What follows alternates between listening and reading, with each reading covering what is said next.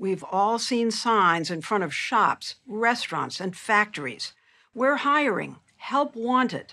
And now the Omicron variant is taking a toll on the already depleted workforce.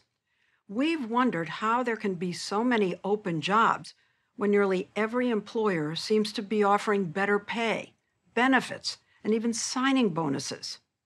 The government's jobs report released this past week tells us what has happened. Well over 20 million people quit their jobs in the second half of 2021.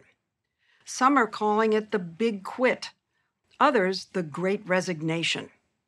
But who can explain why this is happening?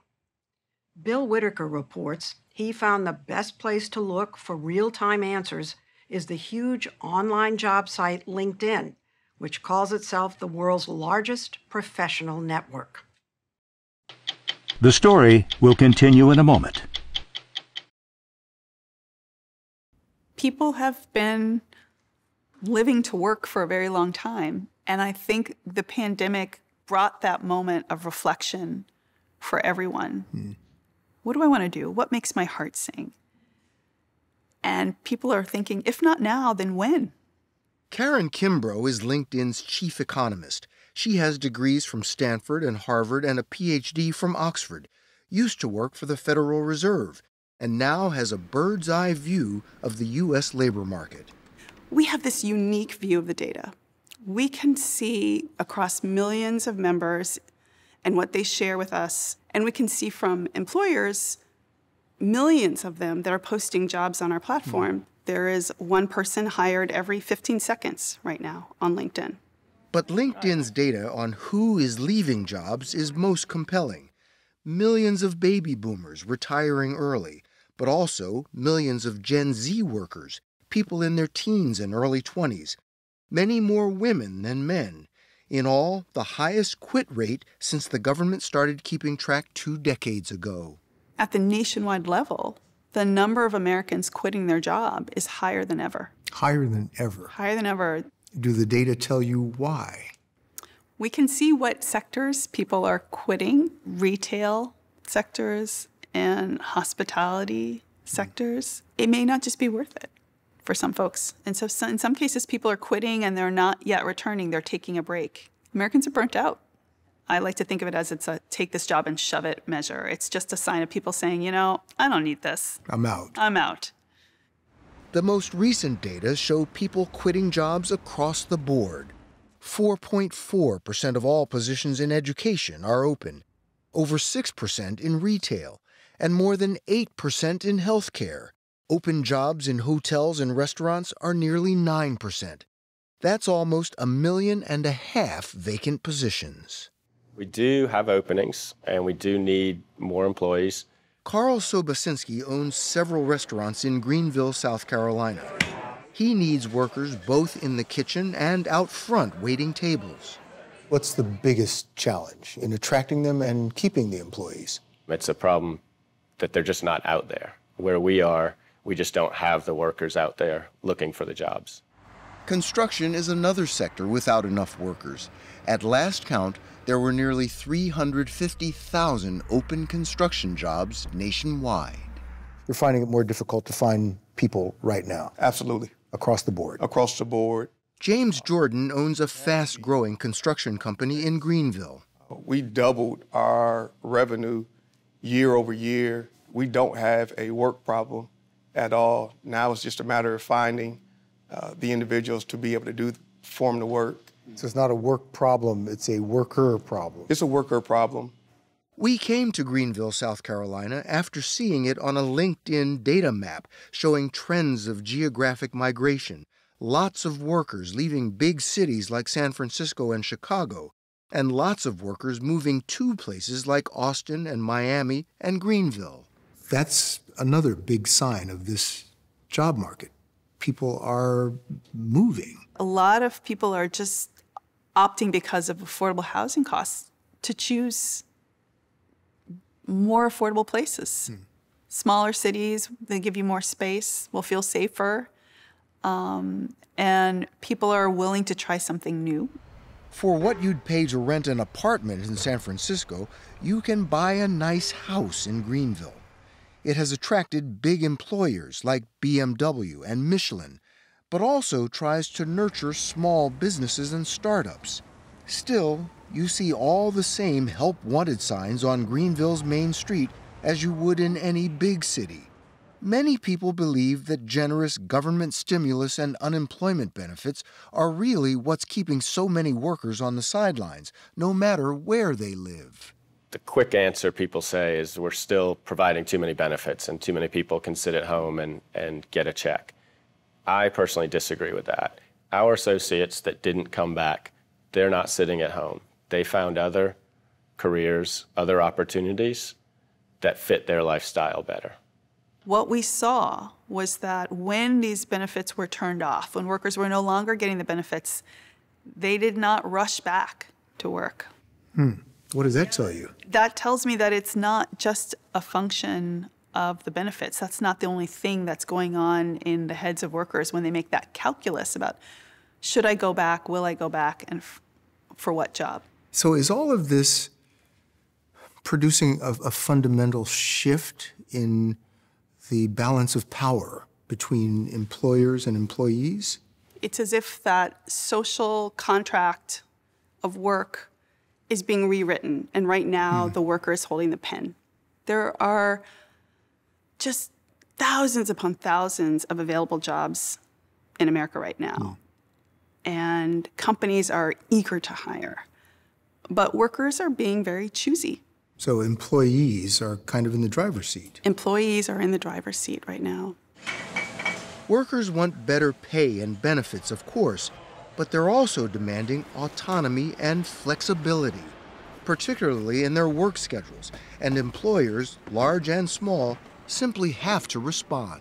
I think flexibility is critical. This is the employee's demand. The employees, they want flexibility. And if you're an employer that won't, um, that won't work with your employees to, to be flexible with them, then you're going to be, you're missing out. I mean, you have to.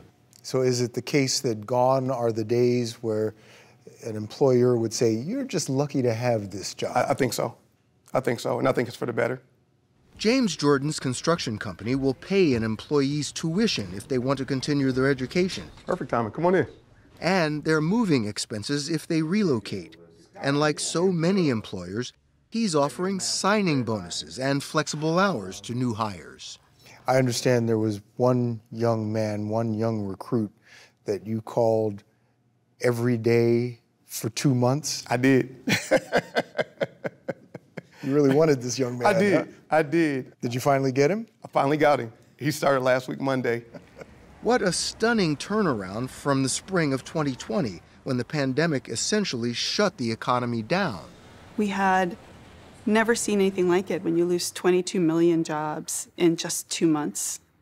And it's unthinkable. Kimbrough remembers that working mothers were and still are among those hardest hit as the pandemic robbed them of many of their childcare options. What we're seeing now is actually a really great story of resilience because we're seeing more and more women come back into the workforce. We're still missing a few million women, by the way, in the workforce. We're not fully there. Still. Still missing a few million women. Um, but we're seeing them come back. And predominantly the women that we're missing are parents of young children. They were hit the hardest. I just decided to leave. I had nowhere to go. I had no hopes for employment. Luckily, my husband was gainfully employed and I was able to do that. But I just walked away. Melissa Williams walked away from a marketing job in Greenville in early 2021. When the pandemic hit, she was balancing marriage, motherhood, and her career. You know you're part of a trend. Yes, There's like a fundamental. the fundamental great shift. resignation. People who are saying and doing what you did. I, I, I can do better than this. This isn't this isn't fun. This isn't me. like you said, I hit a wall and I was done. Was that difficult? I mean, It was. It was very scary because I have I've been employed since I was 17 years old. I remember going home after I put in my resignation, and and I just sat there on the couch and I was like, "What did I just do? I just quit my job. I have no job to go to. We have bills. We have a child. We have responsibilities." And my husband was like, "Do you want to go for a walk?" I was like, "I don't have anything else to do." so we went for a walk. it is challenging to go say I'm gonna go out on my own in general. It really does take some work, but people want to have control. Kenzie Biggins moved to Greenville in 2017, a few years after she founded WorksBee, which pairs remote assistance with executives and companies that need administrative help. You find executive assistants mm-hmm. all over the country, mm-hmm. and you team them up with executives and companies also all over the country. Yes. So one can be in Greenville and an executive can be in Chicago. Yeah, it's all about the best pairing for you. Kenzie had the idea for WorksBee years before the pandemic made such arrangements common. You were ahead of the curve, mm-hmm. and then the curve caught up. Mm-hmm. Let me just say this I got a lot of crazy looks for a very long time, you know, walking into places and saying, you should have a virtual executive assistant. People looked at me like I had five heads. They were like, what? Pandemic hits, and all of a sudden, you're a genius. We went from closing three to four people a month to closing 10 to 18 people per month, which is quite the jump mm-hmm. in trying to get people paired and bringing in new EAs. Americans have really taken a liking to remote work. They're two and a half times as likely to apply to a job that's remote versus a job that's not remote. How's that different from pre pandemic? So, pre pandemic, I think one in every 67 jobs was a remote job. And now, And now it's one in seven. one in seven. One in seven jobs is remote now. That's a huge shift. Huge, huge rise in. Mo- and I think what it is is that companies have realized that if they want to attract candidates, they kind of need to meet them where they are now. WorksBee found me at the most opportune time. Two months after quitting her office job, Melissa started with WorksBee. The churn rate is finally showing in Stripe, so hallelujah. She's now an executive assistant for three organizations. You're working for three different Yes. bosses mm-hmm. From home, mm-hmm. all virtually. Yes, It sounds like you could be just as busy as you were before. I am. I am just as busy. The difference is it's my choice. Now you have a fourth job. I do. I do. I am also an English instructor at Greenville Technical College.